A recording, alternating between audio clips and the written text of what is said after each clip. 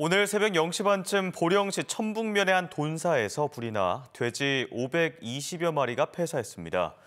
또 건물 한 개동이 모두 타 소방서 추산 1억 1,500만 원의 재산 피해를 낸 뒤 6시간 반 만에 진화됐습니다.